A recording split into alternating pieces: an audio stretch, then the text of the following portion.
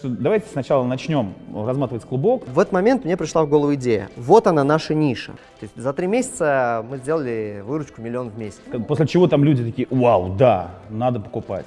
Мы прям четко говорили людям боли, их запросы. Друзья, всем привет! Наконец-то вы смотрите еще один для себя долгожданный выпуск. Ну, для нас, впрочем, тоже. Меня зовут Федор Спиридонов. Меня зовут Илья Терновой. И, кстати говоря, у нас сегодня будет продюсер Дмитрий Сергунин, который является мастером спорта по танцам. Он свою тренерскую деятельность ловко перенес в онлайн-бизнес.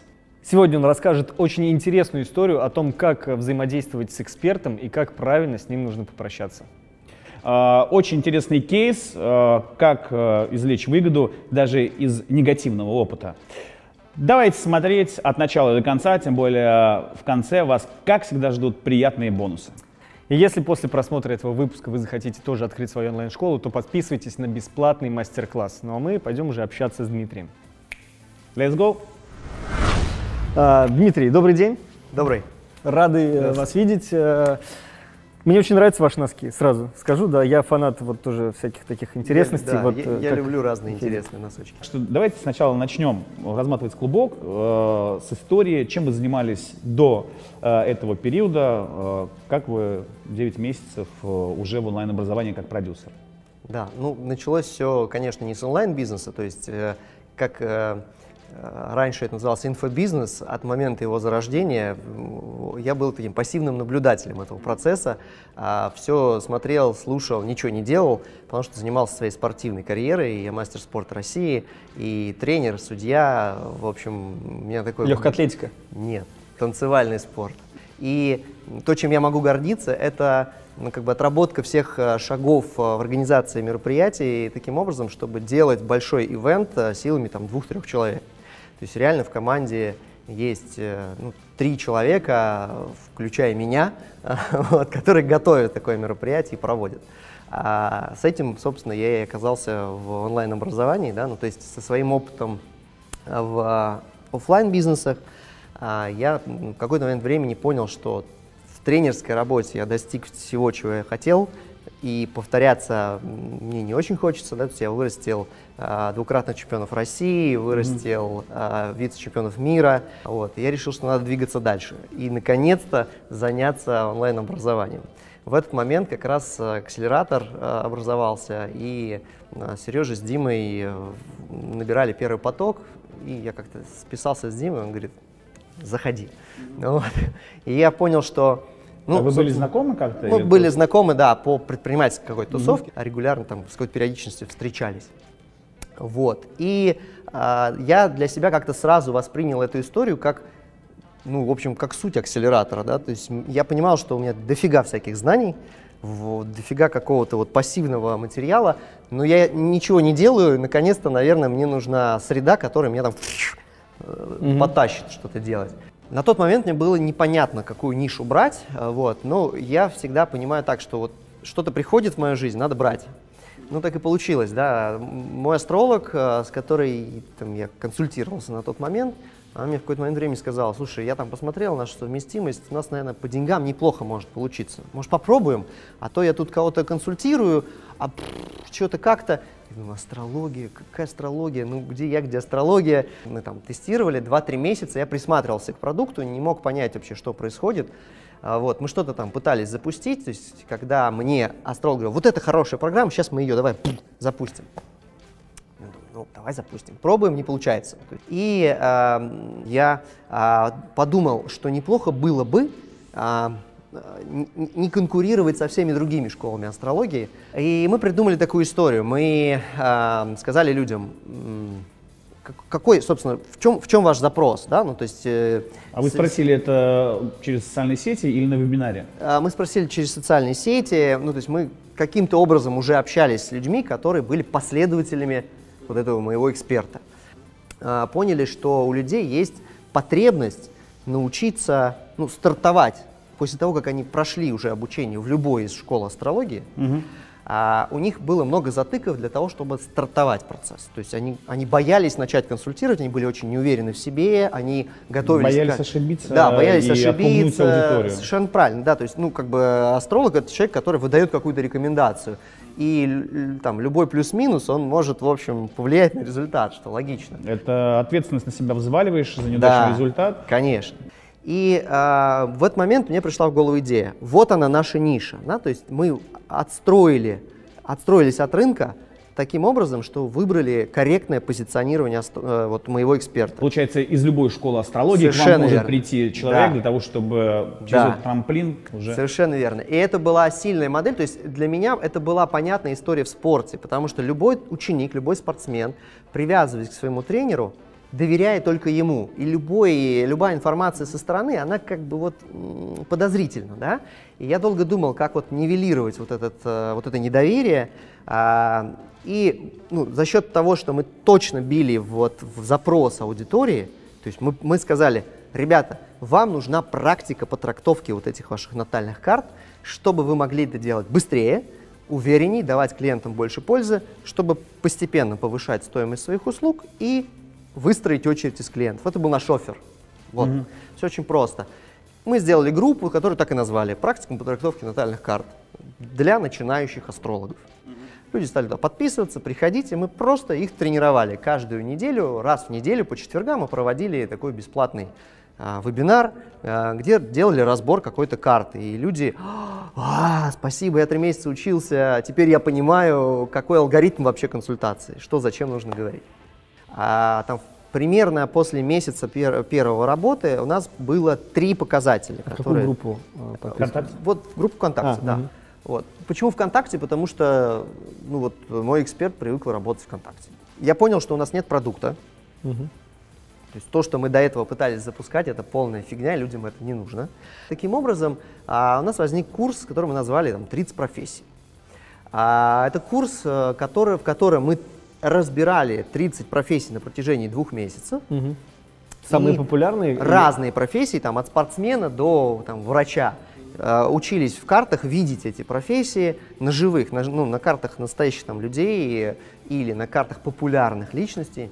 Вот. Мы полторы недели, это было время 24 на 7, мы вот так вот это делали, мы готовили запуск. То есть мы прям шаг за шагом по методике акселератора, ну, то есть по урокам акселератора, а, брали там какие-то письма из рассылки акселератора, перерабатывали их на нашу тему, выстраивали цепочки до вебинарную, там, после вебинарную, подготовили, короче говоря, этот запуск.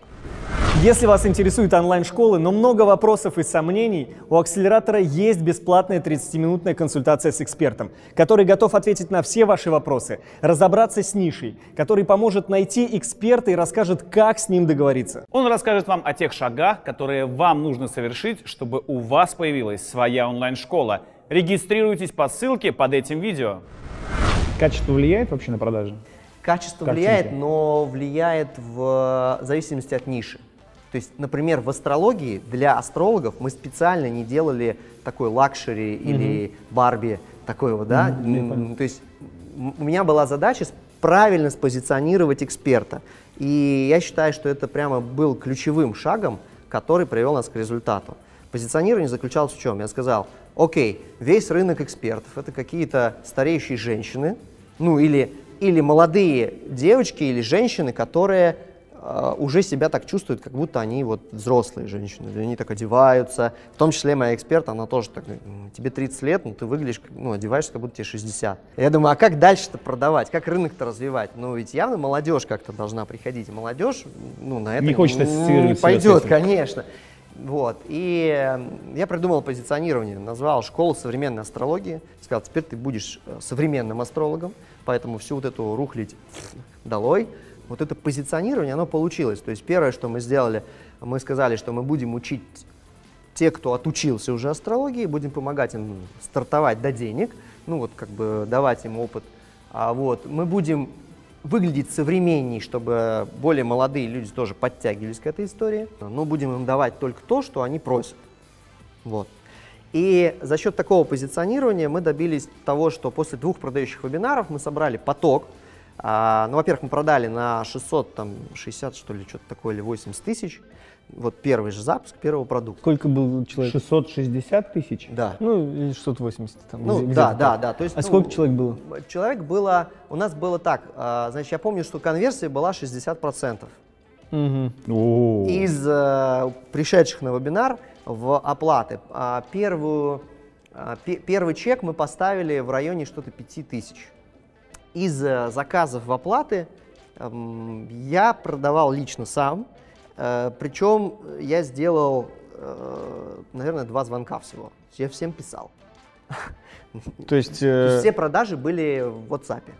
А, ну это мессенджер все-таки, да? Ну да, при том, что мы не подписывали людей в мессенджер, они просто по классике оставляли там Номер свои телефона? контакты на подписной, номер телефона, да, я просто руками всех заносил в свой телефон, чтобы писать им в WhatsApp. И, соответственно, с 80% конверсией люди оплачивали. Не оплачивали только те, кто 60 или 80 процентов? 60, чел- 60% э, регистри... ну, создавал заказ, 80% оплачивал. А, не оплачивали только те, у которых не было денег вообще, даже в рассрочку. Но не очень хотели просто, поэтому создавали заказ на всякий случай. Из э, тех денег, которые вот вы собрали с, э, после вебинара, продаж, э, сколько было потрачено на съемку курса? На съемку курса было потрачена оплата вебинарной комнаты и все. Ну, то есть... Вы прям там же, ну, типа... Ну да, то есть курс мы просто вели, в вебинарной комнате его записывали, потом я брал видео сам, в iMovie его открывал, вырезал там вот эти, э, там, что это, вот так вот там эксперты. Ну, когда на ходу человек импровизирует, да, там, э, Ну понятно, да-да-да. вот это мы все более-менее подчищали. Получалась какая-то понятная история. Вот. Первые, ну там, несколько уроков а, я это сделал своими руками. Дальше я понял, что, ну, это очень много времени занимает, конечно же. Это можно делегировать. А сколько сейчас у вас стоит э, стоимость оплат, имеется в виду курса? Курса. А, со следующего потока мы подняли 7, а, 7 с чем-то и еще с чем-то, да. А в итоге дальше мы все следующие потоки продавали, у нас был пакет 15 тысяч, 22 тысячи, ну там мы по цифрам подбирали. То есть чек рос, а прибыль вместе с чеком тоже росла? Да. Второй запуск мы сделали второго курса тоже на с- 700 э, с копейками, примерно с такой же конверсией. П- э, По времени разрыв между первым потоком. Первый поток мы запустили в июне, в середине июня. Второй поток мы запустили через три недели. А, ну то есть э, меньше, чем, июля. меньше, чем месяц, да? Да. Что она, как, какими она фразами там оперировала? То есть, Ну, как- после чего там люди такие, вау, да, надо покупать. Мы прям четко говорили людям их боли, их запросы. Они говорят, да, ну как бы вот я не могу консультировать, я заплатил там 60 тысяч за обучение в школе астрологии и не могу консультировать. Помогите мне, мы говорим. Вот тебе курс, он стоит 8 тысяч. Хочешь?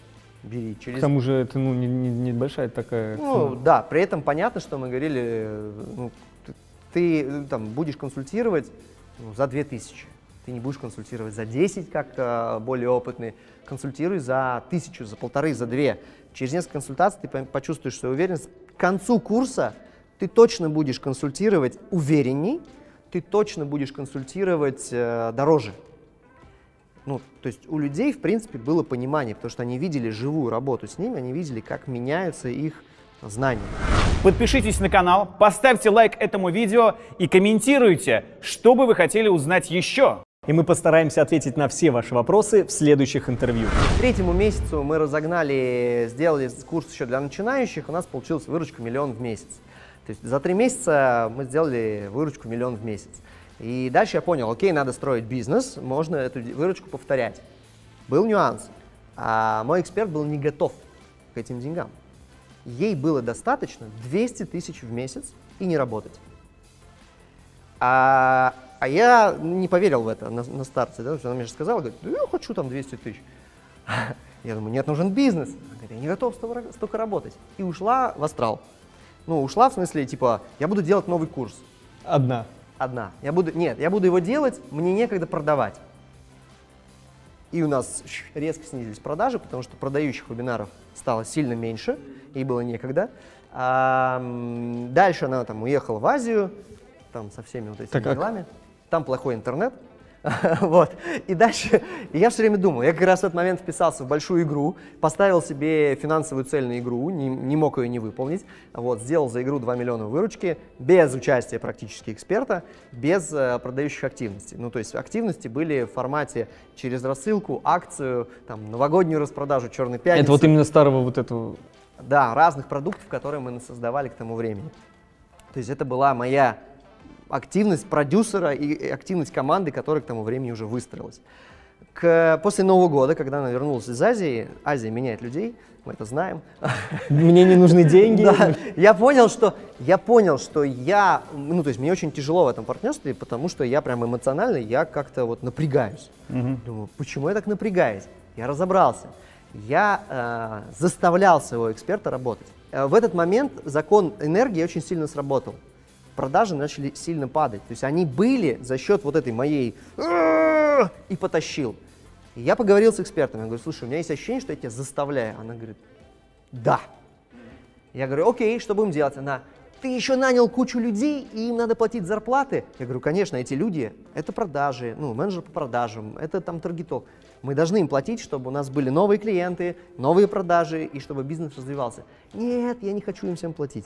Ну, потому что иногда я получаю меньше дивидендов, чем они получают э, зарплату. Я говорю, да, это нормально, мы, это риски бизнеса. А, нет, давай, говорит, будем делать так. Вот как мы с чего мы начинали. Говорит, я буду вести занятия, а ты будешь делать все сам.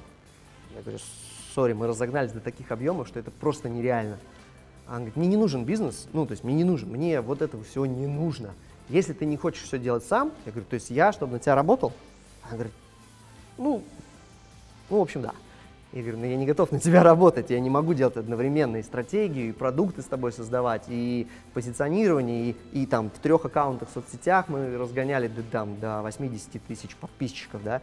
Ну, то есть это много управленческой работы, стратегической работы. Я не могу еще ручками крутить уроки на гид-курсе или резать видео. Но если ты не готов, сказала она мне, давай разойдемся.